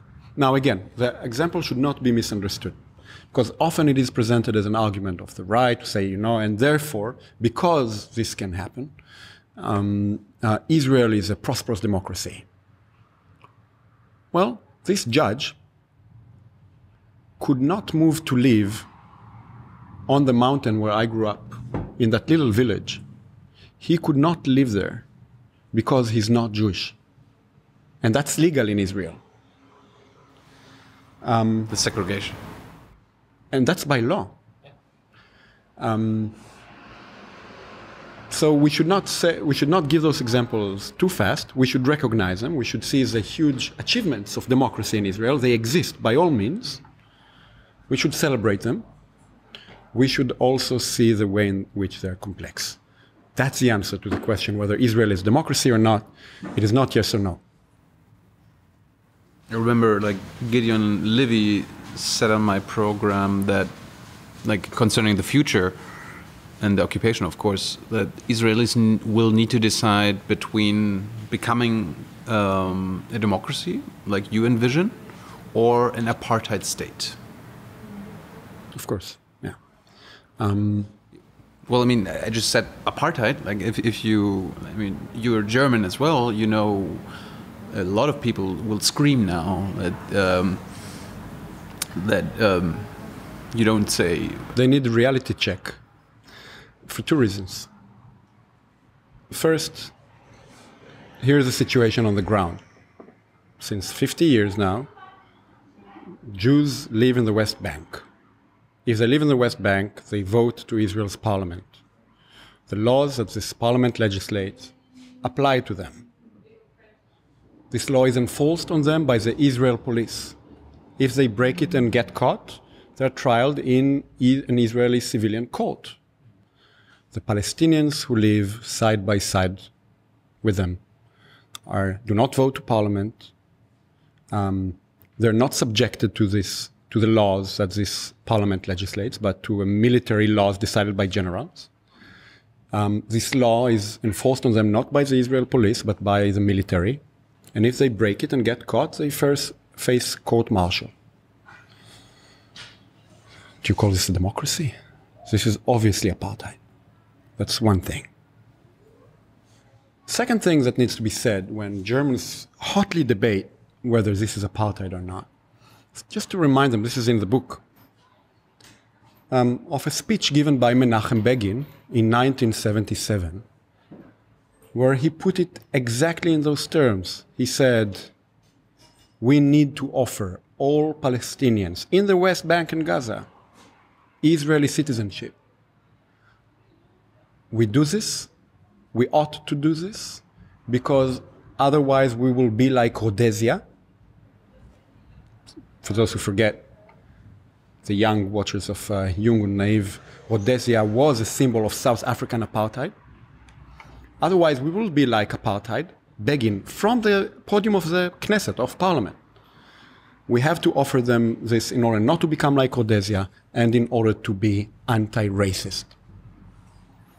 So Begin, uh, 40 years ago, said very clearly that if the Palestinians will not live um, um, with equal conditions to Jews, then this will be apartheid. He said this 40 years ago. It was before there were hundreds of thousands of Jewish settlers living there, with highways, research universities, uh, uh, banks, public schools, and so forth. Their own roads. I mean, the situation is clear. And again and again, this needs to be stated. Germans are worried about the term apartheid for an understandable reason. Let us say it clearly. Germans understand their history correctly as a history of Täter, yeah, of the uh, perpetrators against the Jews. They do not want to all too happily present the Jews as themselves perpetrators, and they do not want to make a delegitimation of Israeli politics. The answer needs to be let us speak the truth, and let us speak the truth in order to describe reality adequately so that we can imagine better alternatives for Israel, not delegitimize the country. Um, um, calling Israel apartheid or calling those apart, you know, I said about democratic practices as opposed to anti-democratic practices. I will also not say that Israel is democratic or not, and I will not say that Israel is an apartheid state or not there are clear apartheid practices in the West Bank. Um, what about Israel itself? In Israel themselves, unfortunately, it spills also into Israel, and I can I actually already described to you the ways in which it spills into Israel, and I can do this again in a moment. But um, um, but again and again, let us insist that we say that in solidarity with Israel to promote better politics, to fight for the country, not against the country. If you really believe in um, this country, if you really care about this country, you better believe that stating the truth about it is necessary. The country doesn't need lies, it needs the truth so that it can become better. You will not make apartheid go by, by just um, killing the term, just as you're not going to make the occupation go uh, by killing the term. Um, that would be uh, my position. You mentioned another thing for a moment, and I interrupted you. You mentioned Ahmed when we spoke about Ahmed Tibi. Sorry, when you spoke about Gideon Levy, yeah. you mentioned um, um, you mentioned something that he said that actually goes back to Ahmed Tibi. You said uh, Gideon Levy says it's a democracy for Jews. Ahmed Tibi has a nice uh, uh, uh, play of words on the famous uh, Israel is a Jewish and democratic state. Um, he says, he likes to say, um, Israel is absolutely Jewish and democratic. It is democratic for Jews and Jewish for Arabs. as much as I like, love Tibi, I think we need to say that he's wrong. A Jewish state is also not democratic for Jews. That's also the answer to Gideon Levy. People forget this all too often. I don't know you, I don't know if you're a Christian. Would you think that Germany would be a democratic state if it would be a Christian state? I don't think so. Do you think that you have the right to live in a democratic state that's neutral about religion and race, also if you happen to belong to the majority? I think that also Jews have the right. They, all, they just forget it. Also, Jews have the right um, to live in a state that's democratic in the robust, simple sense of the term, that it's neutral about religion. People forget, but this is in their interests. Um, the idea of state neutrality is conceived also in order to protect the rights of individuals, Jews. Also, and this is now perhaps the most important and interesting and forgotten point here, also in order to protect the rights of those religious communities. Israel, because and not despite the fact that it's a Jewish state, is a country in the West that most harms the rights of the Jewish people. I'll say it again because it really cannot, I mean, people will think that I'm saying something weird. Israel, because, and not despite the fact that it's a Jewish state, is a country that in the West harms the rights of Jews as Jews the most. Because um, as a Jewish state, it is not merely a Jewish state, but it also assumes a certain interpretation of what Judaism is. And if you do not subscribe to that interpretation of Judaism, then the state crushes this type of Judaism, right? So um, originally, when the idea of state neutrality was conceived, liberalism, the idea was not just to protect the state from the authority of religion. The idea was also to protect religion and religious rights from the authority of the state. The state should not meddle with um, um, religious rights. So the state is neutral about it. Israel is not neutral about Judaism. And because it is not neutral about Judaism, if you do not conform to how the state understands Judaism, um, you're not free to practice your religion. Um, it's not a minor issue. Reform Judaism, Passow, the largest religious Jewish community in the world, is not recognized in Israel. So if you are a reformed rabbi, you cannot convert people to Judaism. You cannot marry people in Israel. You cannot bury people in Israel. Obviously, you can do this in Germany. Obviously, you can do this in the US. Obviously, you can do this in Italy. Those states are neutral and they respect religious freedoms, um, also of Jews. Israel does not respect the freedom of the largest religious community of Jews because it's a Jewish state, and it doesn't accept this form of Judaism. Was it outlawed or never made um, legal? It is, um, um, well, um, it functions this way.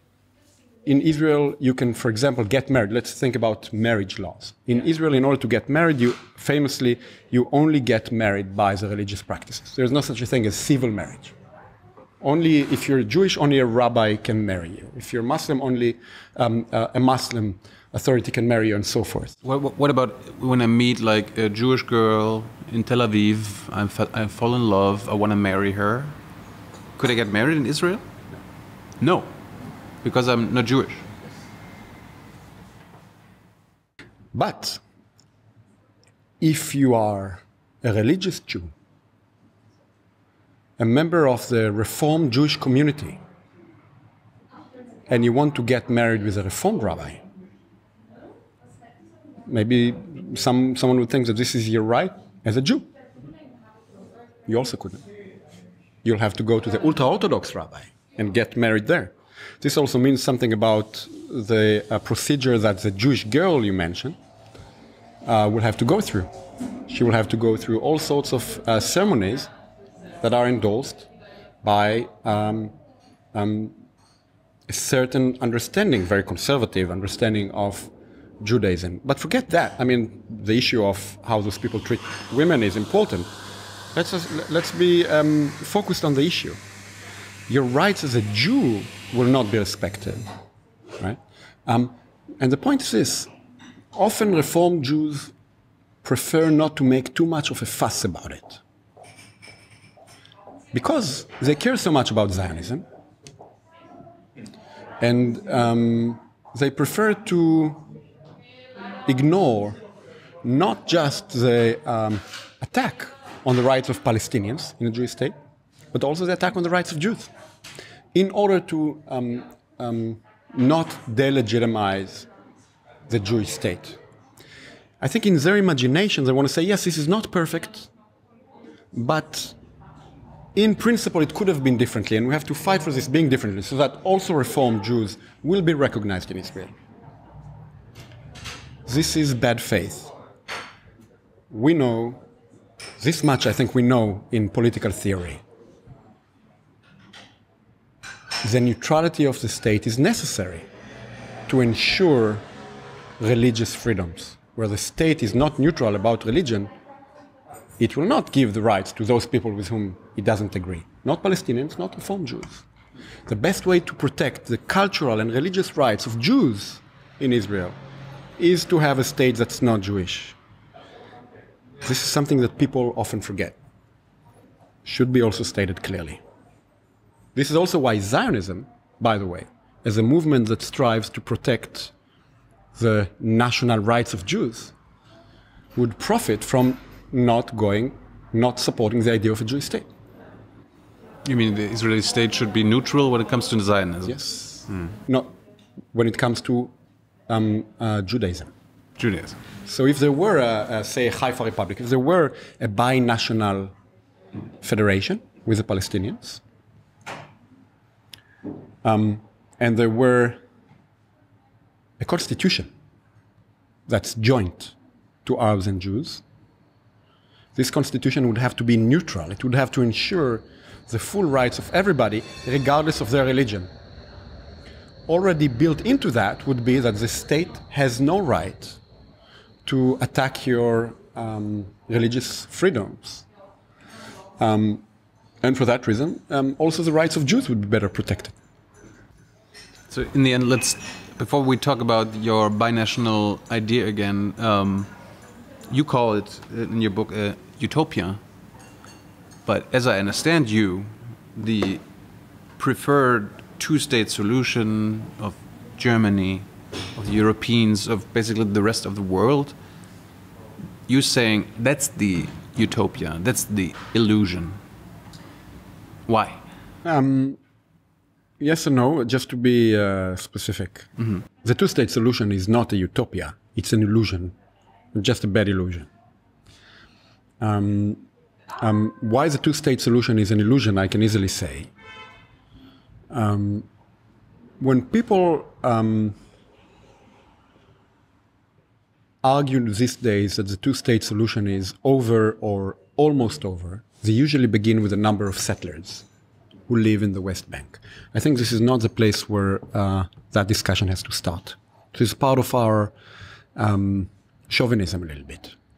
We need to start with the Palestinians, not with the settlers. Between the Jordan River and the Mediterranean Sea currently lives a Palestinian majority. Even the most um, generous two state solution deal to the Palestinians proposes to give this majority of the population approximately 22% of the territory. Now, this type of utopian solution um, is no good, and not just because it is unfair or unjust. It is no good because um, closing the majority of the population in this tiny, crowded, discontinuous, hmm, you have Gaza and the West Bank, territory is not the type of compromise that can bring peace.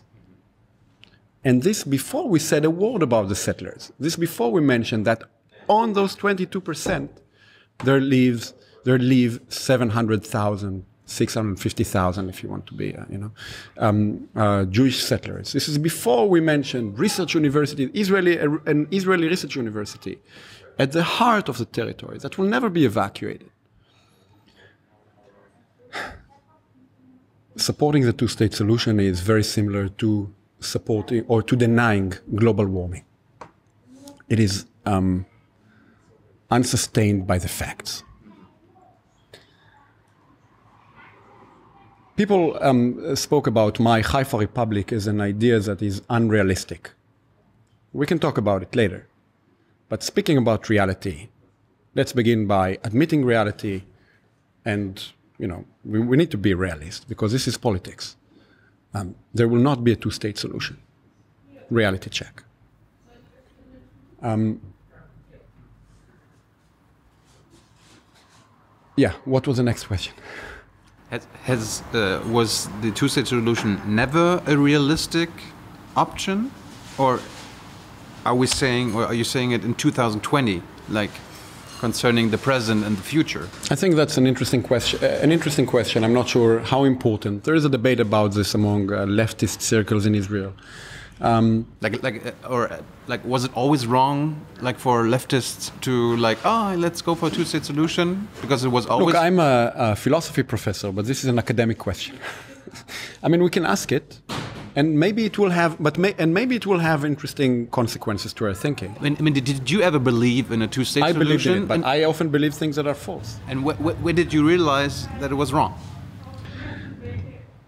At some point, there had to be, if you're rational, you have to be open to reality. You have to see that some types of things are not going to happen. I'm not sure what was a moment when I, you know, realized that it ain't going to happen. I think for me, one moment was just realizing, just looking at the map and seeing Ariel. Ariel is a town, 20,000 um, uh, inhabitants, at the heart of the West Bank. Um, um, liberal Zionist supporters of the two state solution often like to say look, there are many, many um, Israeli settlers, it's true. They will never be evacuated, it's true. But there is a magic solution. And the magic solution is drawing differently the borders. We can have border adjustments. Most settlements are basically on the border of the 67 territory. We adjust the border we compensate the Palestinians with different areas of land somewhere else, and we have a two state solution. Sounds great. And I, I think that I used to believe that. At some point, you look at the map and you see that one of the most prosperous Israeli settlements was located deliberately at the very heart of the West Bank. That's Ariel.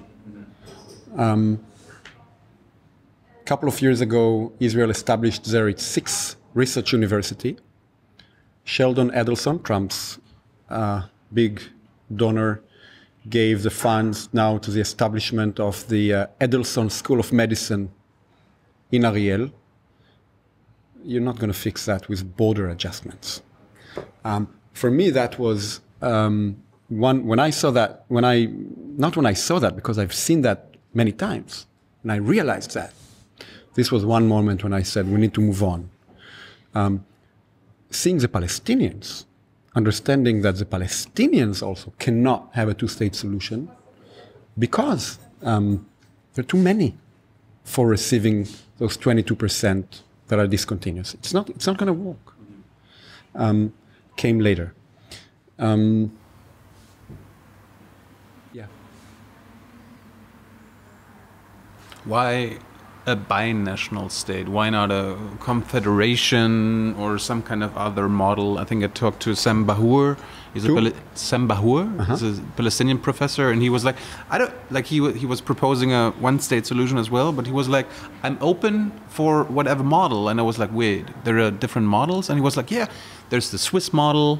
You know, there are four different uh, types of uh, nationalities or citizens. I'm not married to a um, to um, There's a Belgian model, you know.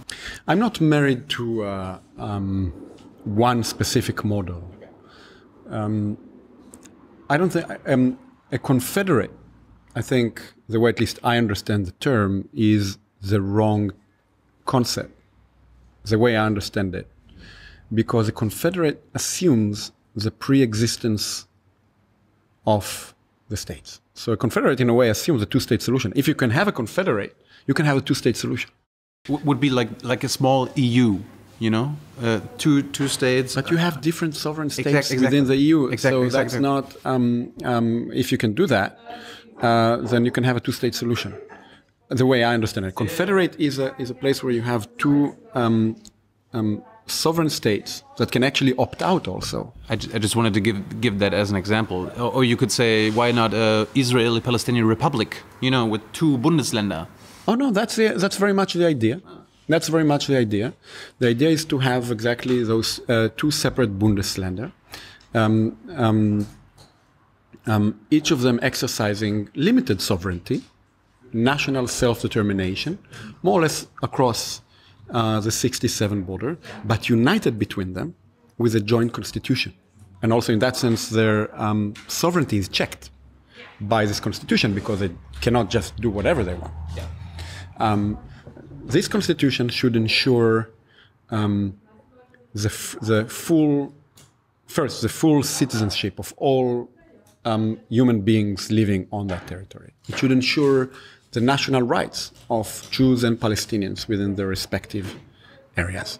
But since separation is no longer possible, maybe it was never possible, but it's not possible now this constitution ought to ensure the full freedom of movement on the whole territory, the full economic rights on the full territory, the right to purchase land, the um, uh, right to walk on the full territory, and so forth. Um, in that sense, it is very much like uh, two Bundesländer united between them um, with uh, yeah, a joint constitution. So the, The- Knesset would be like the joint parliament, That's right. That's right. Um, and, Jerusalem would Jerusalem will be the, um, the uh, Jerusalem can be the capital of each. Uh, separately, both Bundesländer Yeah. and of the. but don't forget Haifa. Ah, ah, yeah. And Both Haifa have- should have Haifa should have you know that that's part where it is coming a beautiful imagination. But um, Haifa can have the joint right. So there should be, for example, a, um, a constitutional court, a constitutional court that ensures that um, the neutral joint constitution is enforced. Can sit in Haifa, for example. Does it sound to you utopian? It was a question. No. Okay. Also, not to me. And many people uh, thought that this is utopian. I think it's a little sensation about this book that it takes a fact that's. Um, I'll leave it aside.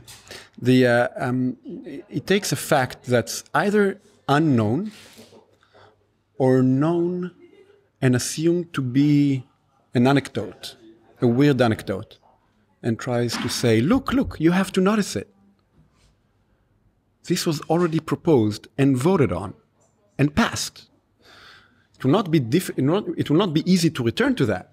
But this is not utopian, this was historical reality. In 1977, 78, Menachem Begin, it was mentioned here many times, exactly when he came and gave this speech about apartheid, when he said, you know, we have to offer all Palestinians citizenship. Otherwise, this will be apartheid. In that same speech, this was a moment when he proposed his vision. People sometimes call it the Begin Plan or the Begin Autonomy Plan. This is all mischaracterizations of what Begin proposed. Begin proposed giving all Palestinians full Israeli citizenship, full freedom of movement, full economic rights on the whole territory. I print this in the book, the whole program. The Knesset voted on that program and passed it 68 now, don't catch me, uh, you know, uh, we are in a respectable journalistic um, venue. 68 or 64, I want to say 68 for, 40 abstained, 8 against. In any case, it passed. It was then sacked for all sorts of reasons, no matter, doesn't matter now. There is nothing utopian about ideas of this sort. They were historical realities. By no means will it be difficult to return to them.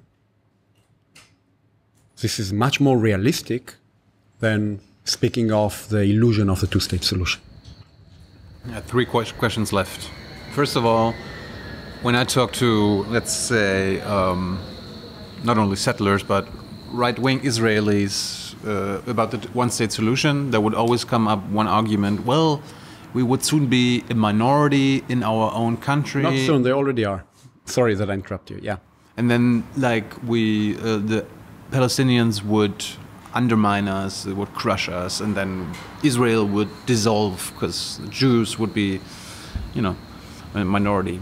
Which is like kind of kind of funny that uh, the same people, uh, like, they are afraid of the race. I mean, they are saying like, okay, we would be treated race, uh, racist. They're afraid to be treated the same way they treat the Palestinians, and I understand them, because uh, um, the Jews are no better than anybody else and no worse than anybody else, um, and people are um, uh, justly concerned for a situation um, um, that a situation in which uh, Jews will not be on top will be a situation in which uh, Jews are on the bottom. That's a. Um, it's a false dilemma, um, right? It's a. It's a. It's um. It's an understandable worry, and um, there are many other similar worries. By, by the way, also to Palestinians. The Palestinians are already the majority on the territory. On the other hand, they are so weak in relation to the Israeli state. I mean, they are nowhere near uh, in a situation like this, a Haifa republic like that, what are you going to do about economic power? The Jews will be able, the Jews will be able to buy Palestine. Um, what are you going to do about it? Serious problems? I think those are the real problems that need to be discussed, solved, in order to promote an alternative to the region. Jews as a minority what, hold on a second. All right. Jews are the, um, are the minority in that state. Needs to be said, and we need to think about it carefully because it's better be a real solution. Um, the answer is that um, there's a constitution, and the constitution is meant to ensure not just the full individual rights of all human beings living on the territory, but also the national rights. Those national rights need to be protected um,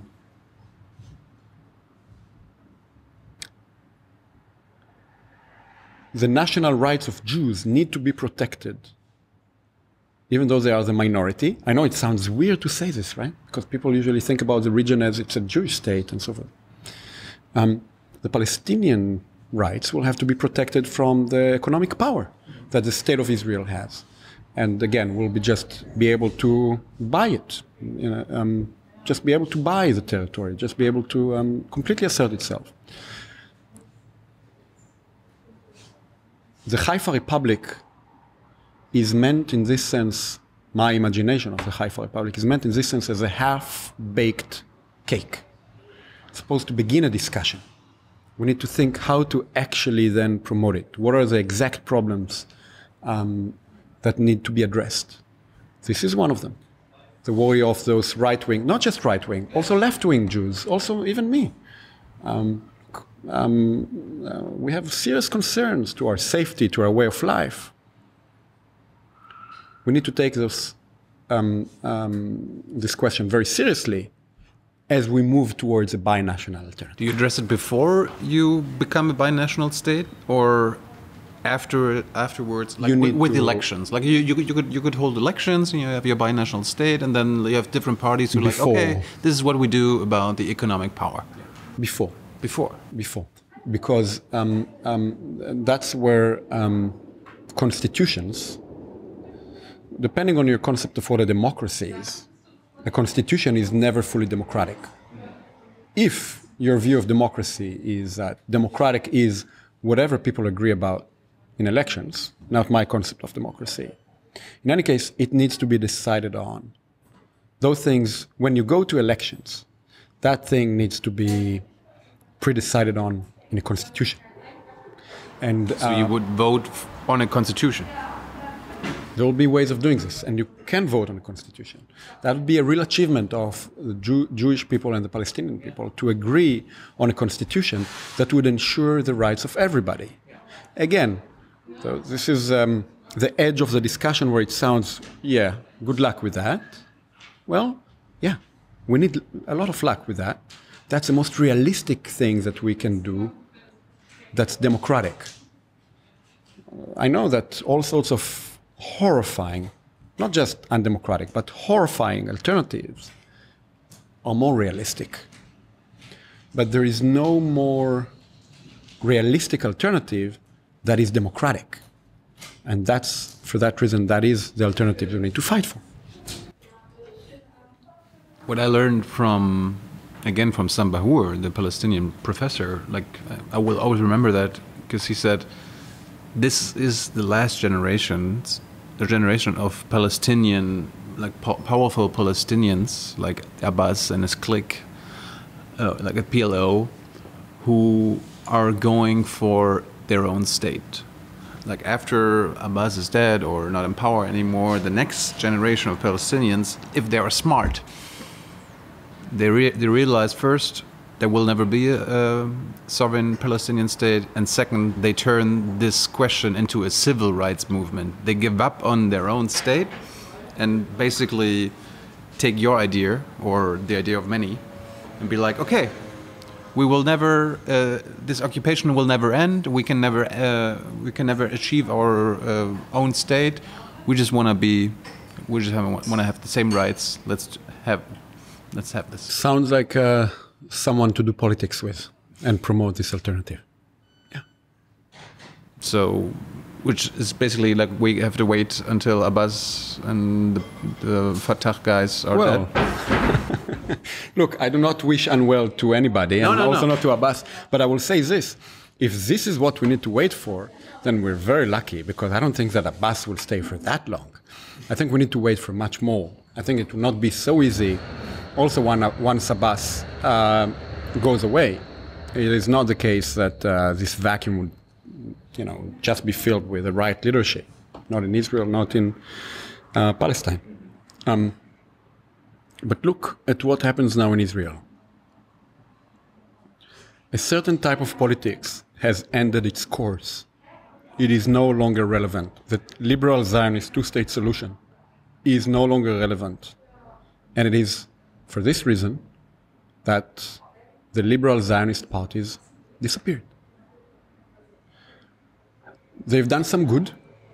They've fought for peace. They've fought for uh, rights. They've fought against the occupation they've done some bad in that they sucked all the possibilities of speaking about an alternative. Also, when an alternative was already desired. Their disappearance is a good thing for Israeli politics because it makes possible again precisely the talk about an alternative, which we see with the joint list. The Arab Israeli party that now receives a lot of support from Jews because um, it is the liberal party in Israel's party. Are they promoting the binational state? Um, good question.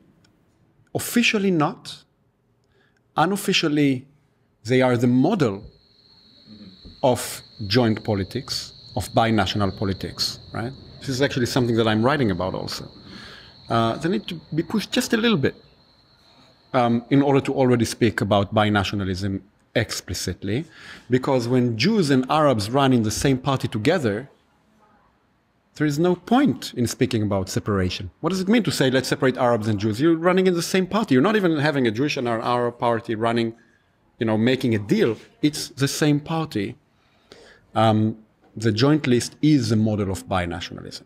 I mention this because there can be a similar movement with Abbas.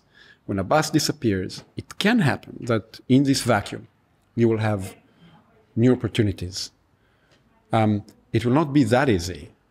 It is not just that we need to wait to Abbas. That would then be my God very soon, uh, if you ask me. Um, not young, not naive, and not healthy. Um, yeah. Like, let's say there there is going to be a binational state, as you imagine. Like, one the final question, like, would you still call it Israel? it's a great question. I do not know what we would call it. Um, and it's a great question because it shows how difficult the situation is. And um, obviously, it cannot be just called Israel. And it shows you, it reveals the problem because it would be very difficult to convince people to move away from that. Um, why not calling the Jewish part Israel and the Palestinian part Palestine? Um, Palestine. Bundesland. Yeah. yeah. And uh, the joint one state, Palestine. Bundesrepublik Palestine. Something like that. By the way, just that we are in the clear, um, the name is not invented by me. Sari Nusseibeh. I don't know if you ever, you did not interview him when you were in the region. He's a wonderful philosophy professor who used to support the one state solution, then became um, um, um, an advisor of Arafat because he wanted to have peace. So he said, even, I, even if I support the one state solution, I will support with Arafat the two state solution and we will promote it. I think he gave up on the two state solution again. He uh, came up with that name as a way of saying, forget the name because it's a silly name. Um, um, I think what's so genius about that name is to say the problem of the name is very difficult on the one hand, but it shows you how silly it is on the other. It is the name. Omri, thanks so much. I think we oh did more than two hours, Tilo. Where's Tilo? Smoking outside. Mm-hmm. Uh, thanks so much. It was that was wonderful, and uh, let's do this again sometime. Absolutely. And maybe let's not wait until there is this uh, binational state, because I think this could still take a while. Yes. Thanks, Omri. Thanks Thank so you. much for watching and listening to this. Bye.